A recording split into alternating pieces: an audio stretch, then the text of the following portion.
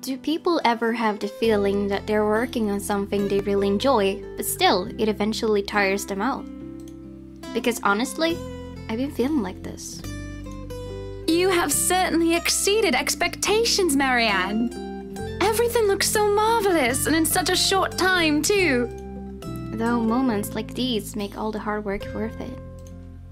Definitely. Well, I can't take all the credit. People have certainly been enthusiastic about the idea of working on the Wright mansion. There won't be any more problems unless Mr. Wright has any more objections about the second bedroom. Oh, no, no. We proceed with that room as planned. I already agreed to him having his greenhouse and his vineyard and his stables. He may as well let me have this one thing. We're only about halfway done, but the honest satisfaction on a client's face is enough for me to push through.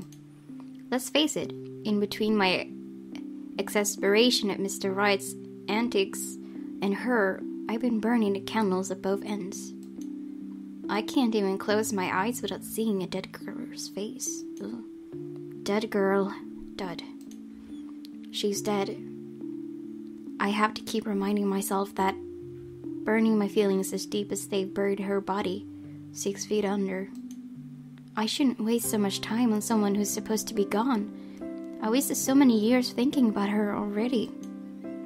There should be no need to bother myself with the dead, when I should be bothering myself with the living. Too bad the living are usually as complicated, if not more, than ghosts of the past. But don't you have a party? Hmm, yes. But Luke's just being a sweetie, you see. That friend he's visiting, he's having marital problems and he's just trying to cheer him up. It's even more complicated when he, the living in question is a pair of rich and famous social socialities way past their honeymoon phase. And I've been somehow roped into being a relationship counselor. They've been married for a long time and they've hit a. How do they say it? A rough patch. His wife has a drinking problem and can be very neglectful. The poor thing really does his best to be a good husband. But it's never enough for her. Sometimes I think it's the years. Maybe it's been so long that they've lost that romantic spark. What do you think? If I'm going to be completely honest, I need to ask. This is about you and Mr. Wright, isn't it? Suppose it is. What would you tell me? Then I tell you it's none of my business. I tell you that I don't want to meddle. But if the troubled husband with the neglectful wife asked me for my honest opinion, I'd say that he shouldn't base his happiness and his self worth on someone else. Maybe he should try being independent for a while. See what it's like when he isn't trying to please someone else and doing things for himself. Everyone's supposed to be their own man or woman, right?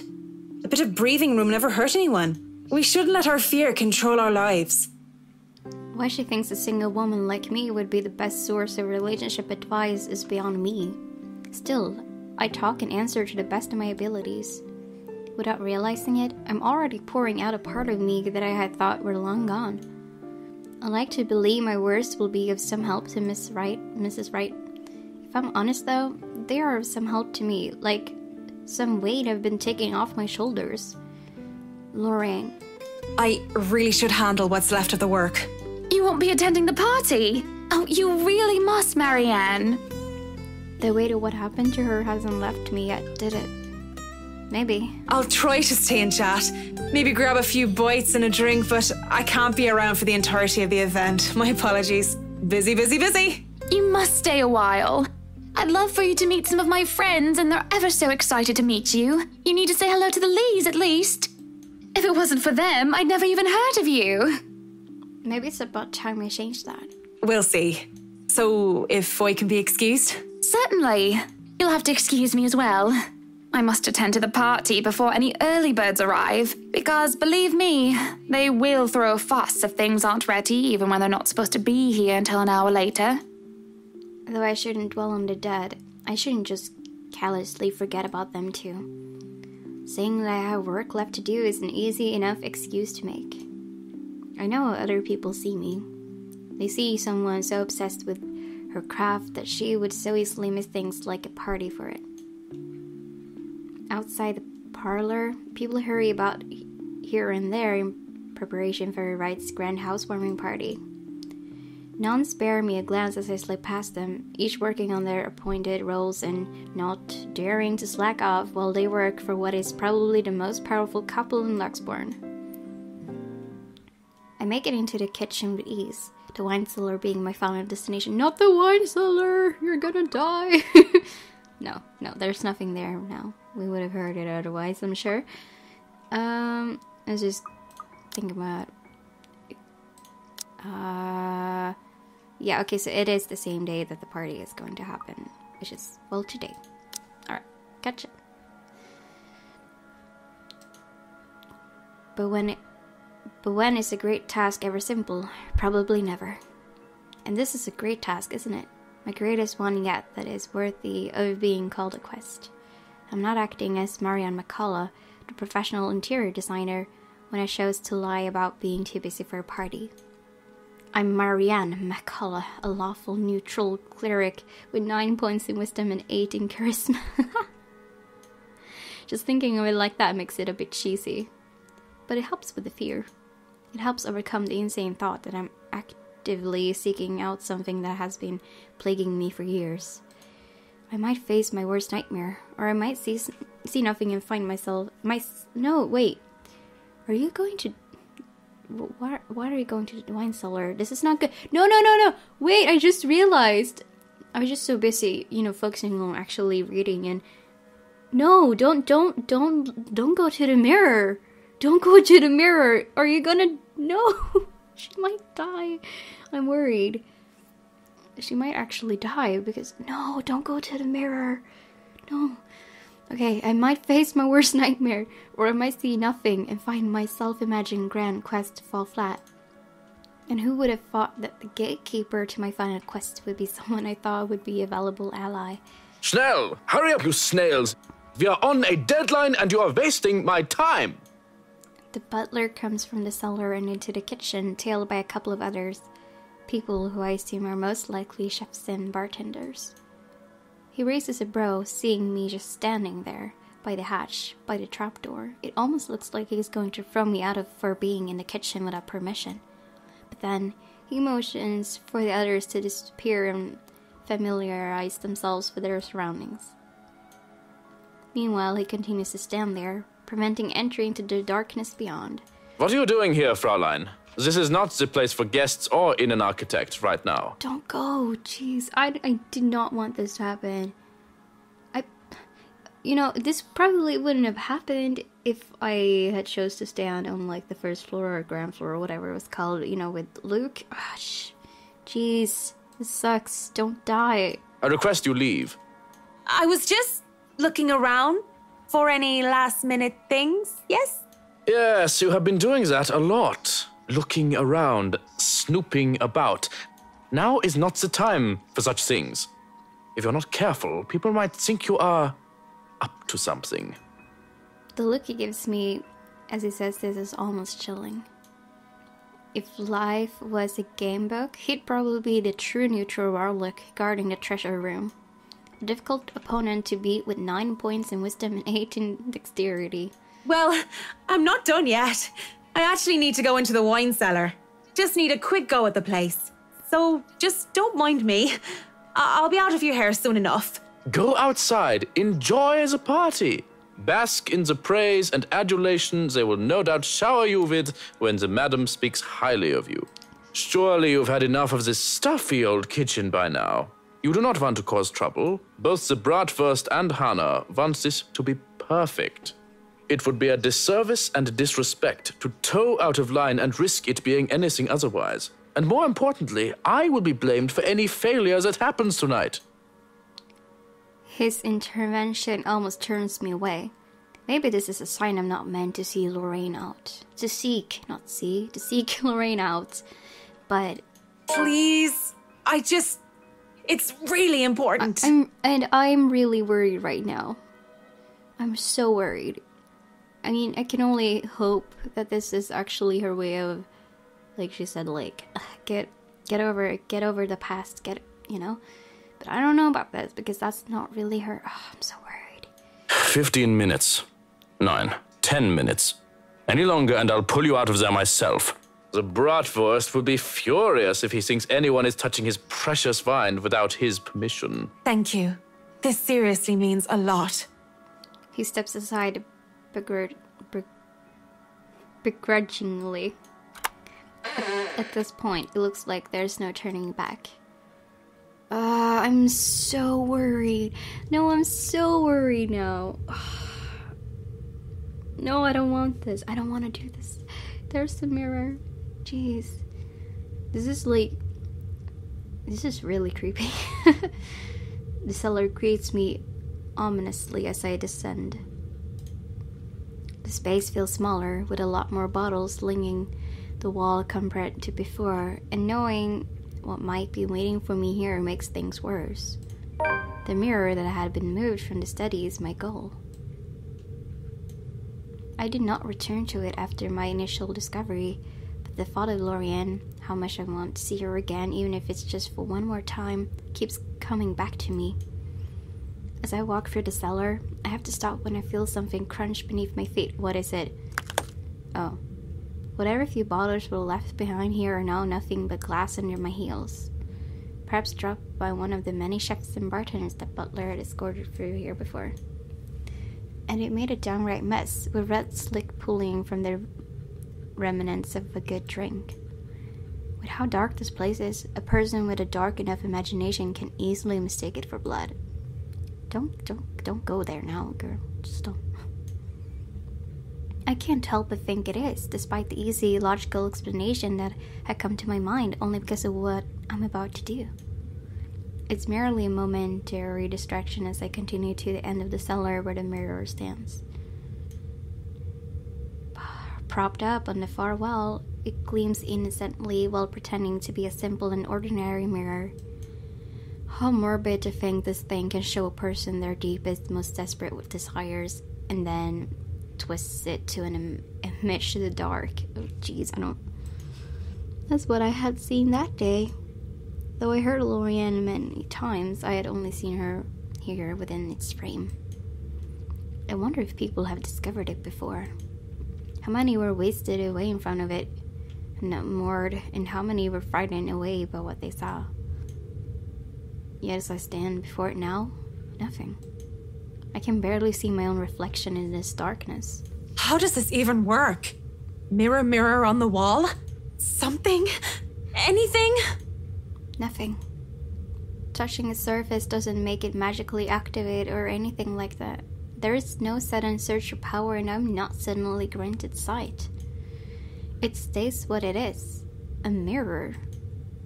Was Lorianne's appearance in the mirror all some sort of fever dream? Am I really that burdened with guilt and despair that my mind would eat itself in my stress and have me hallucinate such things?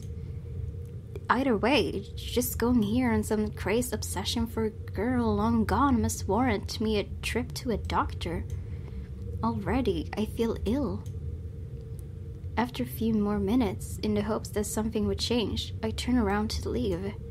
I can just go back upstairs like nothing ever happened, perhaps drop by at a party for some house devour, and then go home and collect myself.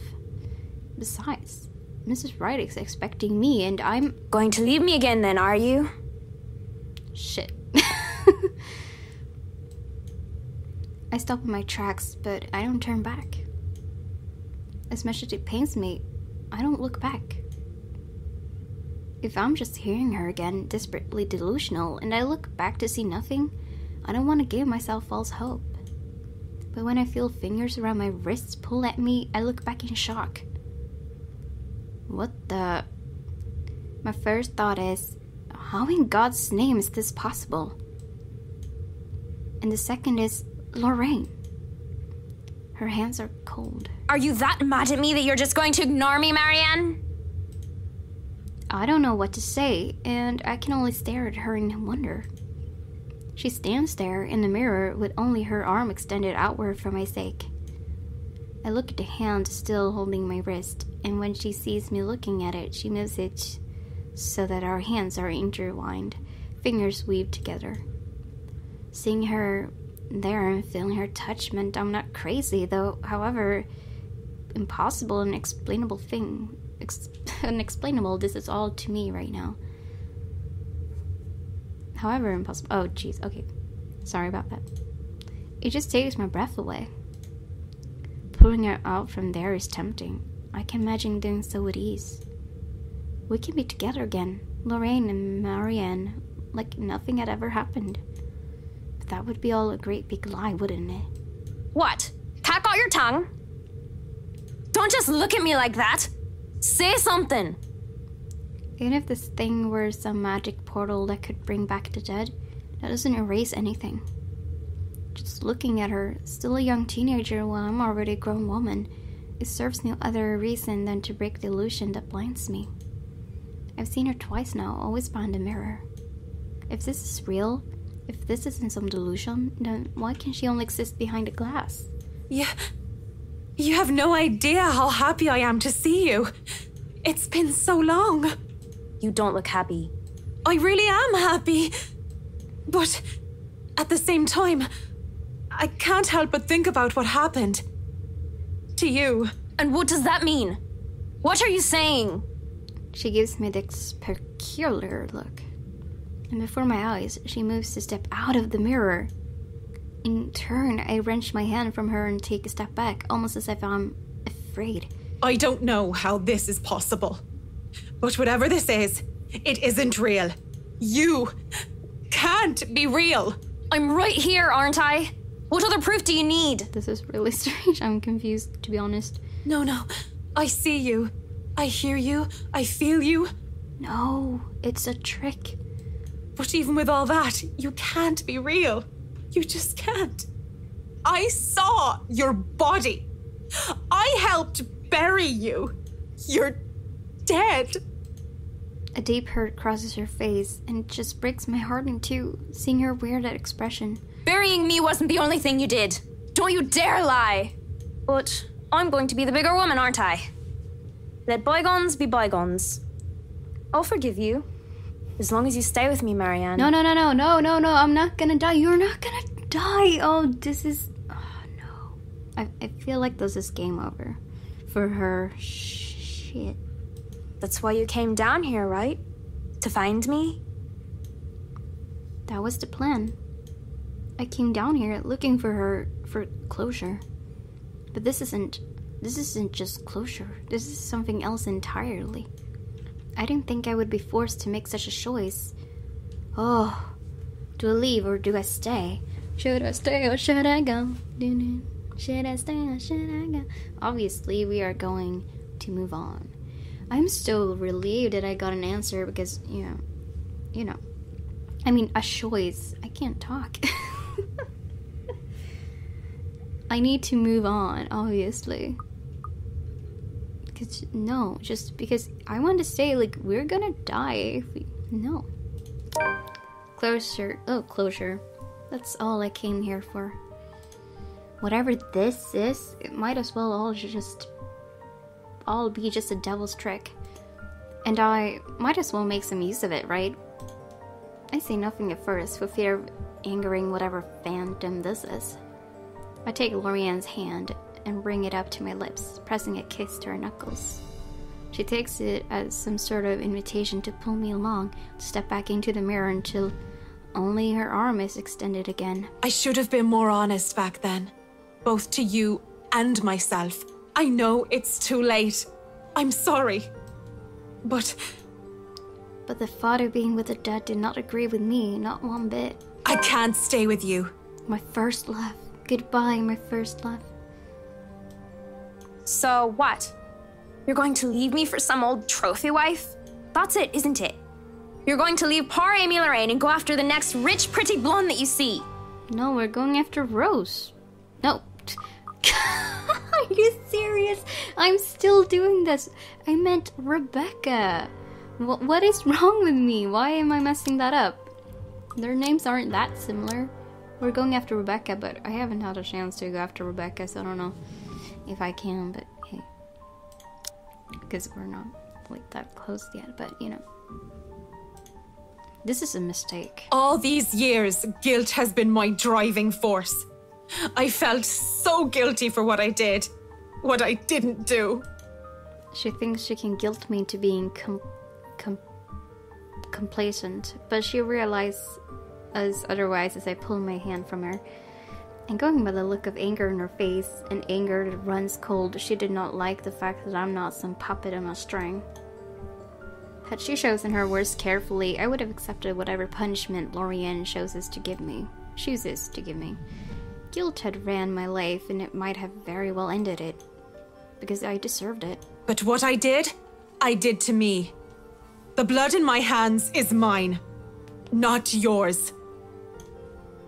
Whoever or whatever this shadow is, my gut tells me she's not Lorian. Yet, I keep talking as if she is. I broke your heart, not your neck.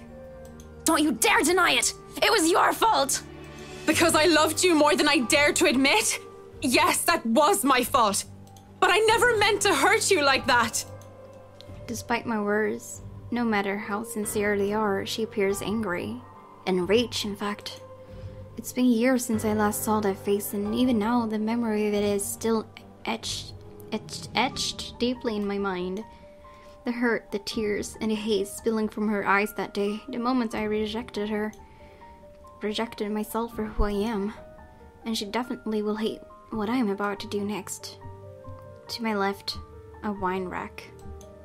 And from there, I take a bottle and pray to all the saints I can remember. For all my sins, for every hurtful words I've uttered, for what I have driven her to do that day, what I forced her into. What are you doing? I do it without thinking twice. Quickly, before I can hesitate, I grab a bottle and send it straight towards the mirror. Shards of the bottle on the mirror are sent flying everywhere as Lorian's screams echo in the cellar. Bitter. Searing. Like every wounding accusation she hurled at me. They never left me, I doubt they ever will. But with this, I can move away from them, from her, live my life as I should, free from the burden. Her burden. Because the Lorian I know, the real one, the person I loved, will never want me carrying this to my death. As the screaming dies down, I can't help but mutter weakly It's done. It's done. Mirror, mirror on the wall. Oh, Lorraine. Forgive me, Lorraine. I take some time to compose myself, breathing in and out, stamping down on the tremors, still racking my hands, straightening out my jacket and fixing my hair. All a weak attempt at returning myself to someone resembling my normal self. This would probably be easier to do so with a mirror, but I likely won't be able to stand looking at one for a long time. Well, now, I should probably go back up there. Party to attend, rich socialites to do business with, and food to eat. Mrs. Wright will be happy if I make some time for it anyway. Yet, one last time, to the shattered glass beneath my feet. I'm sorry, Lorraine. May you see God's light on the path. Turning around to leave, and for good this time, the uneasy smile on my face falls as I see Lorraine, whole and well. Come on, Mac. You really didn't think it would be that easy, did you? You get bonus points for trying, but you should know an 8 in charisma is not enough to turn undead. She advances towards me, backs me against the wall. I can't even reach for another wine bottle without putting myself within her reach. Despite, despite my earlier bravado, I didn't think she'll be able to exist at all without the mirror. Can you blame me though? It's not like I'm an expert on the supernatural. That's not. You shouldn't be. What? After the mirror? Did you think just moving on will erase what you did to me? You're nothing but a murderer, Marianne! A murderer! Stay back. You're not real. Leave me alone. Stop. I'm trying to move on with my life, so why won't you let me? Please. Just get out of my head and leave me be. I try to find an exit when there's a click. The next thing I know, I'm falling back into darkness. What? Behind closed doors? What is going on? I felt I don't want to watch Ella read the journal in case there is spoilers for what's about to happen, but I'm freaking in a prison cell. What the hell? What was this? What happened to that lady who lived who is haunting them? What the shit? I I fall on my back and a door slams shut behind me. In a daze, I look around hurriedly and find myself in another room entirely. On the other side of the wall, some sort of secret passage, perhaps. An underground tunnel that has me wary and frightened. It also proves that the oddities in Dimension's floor plans are a lot more than just little discre- exactly just little discrepancies. Discrepancies? I don't even. I expect Lorraine to jump out of me from the darkness at any time. A breeze blowing through the tunnel has me relieved, though, at the idea that there is still a way to escape should that happen. That is way better than being trapped underground with only God knows what that was. A funny thought comes to mind as I start walking to where the exit might be. I think about how Mrs. Wright would be so disappointed if I didn't show up to the party. I imagine how furious Mr. Wright would be for breaking one of his wine bottles. Even Johannes' reaction comes to mind, though I don't really know with that guy. One thing's for sure is that I would be calling Cam and Haruna for a drink as soon as I get out of here. No, this is. Oh, gee, no. You're so dead now, aren't you? Oh. That noise has me wary. A ghastly thing, a corpse of a woman, leans on the wall. Her arms and limbs, almost every inch of her lithe body, is, is peppered with wounds and rotting flesh. And it is then that the putrid smell of blood and gore hits me, making it so that I don't even question how I missed it in the first place. How long has this been here? So this is where she's. Oh no, this is sad. I wonder what happened to her.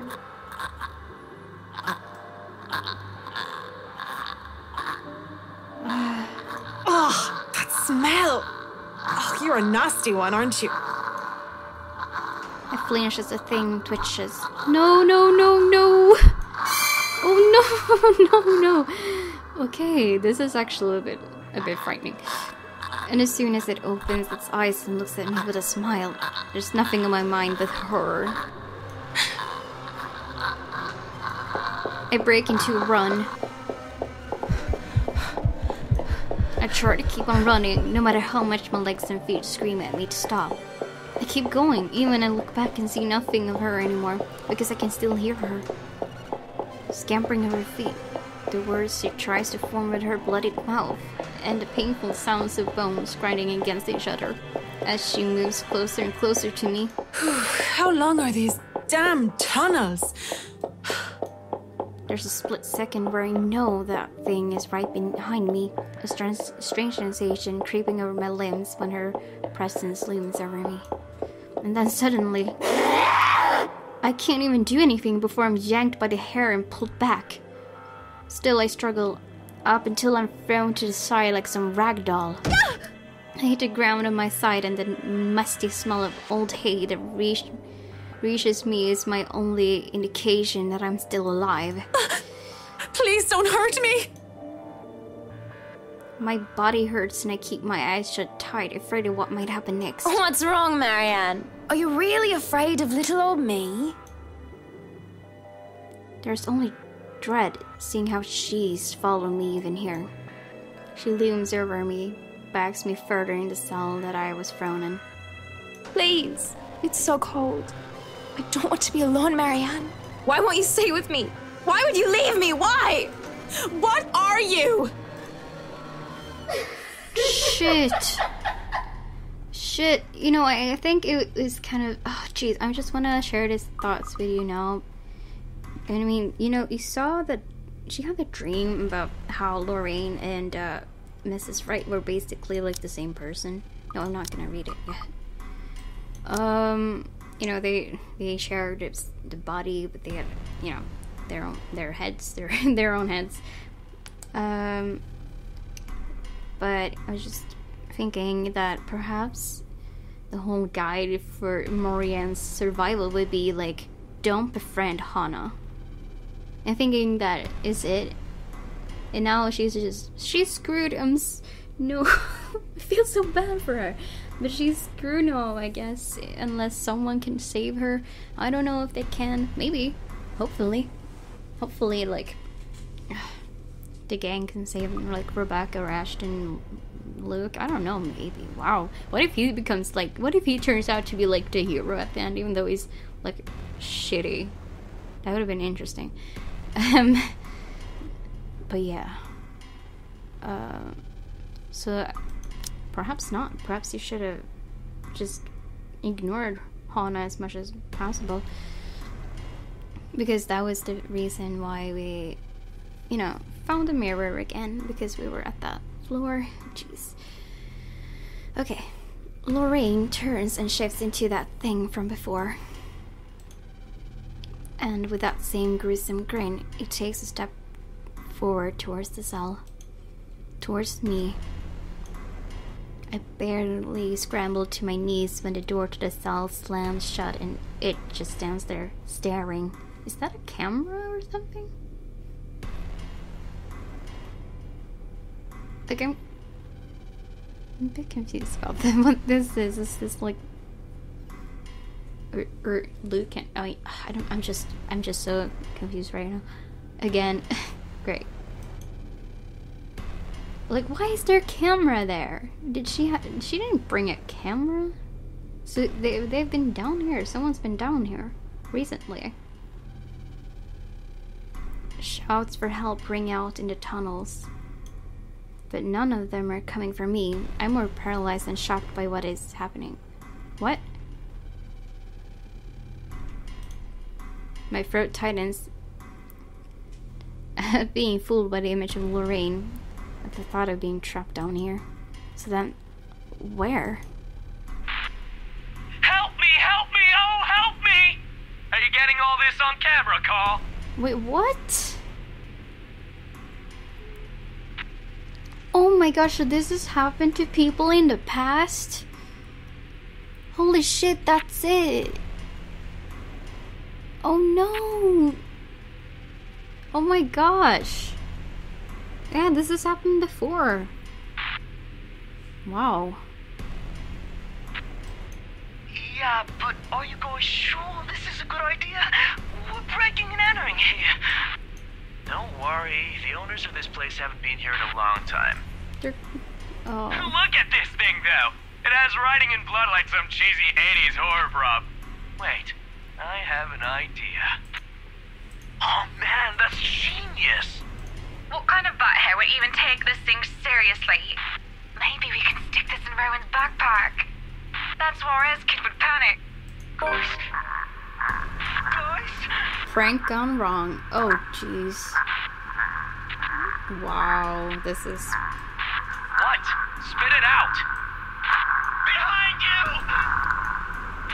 There, in the corner of the cell, a digital camera comes flickering to life, and the video has played back on the screen.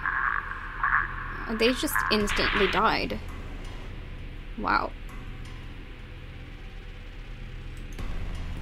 It was hard to even consider paying any attention to it, but my life is on the line.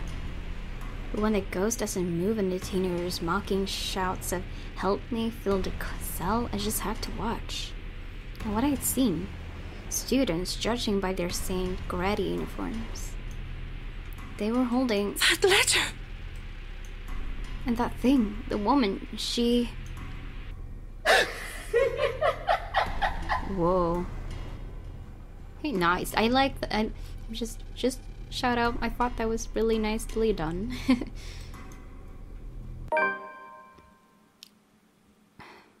oh no, we're trapped here. So sorry. Rebecca, save Marianne, please. No. This is how it begins, or so they say. No, Lorraine. No, uh, not Lorraine. What am I? Marianne. Lorraine, don't. Oh no. Sh- I should not have followed her. Darn it, Hana, you tricked me.